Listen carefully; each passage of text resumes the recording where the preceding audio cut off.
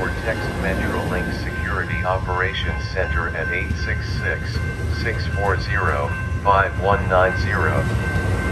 If you observe violent behavior or other criminal acts that could endanger life and property, please dial 911.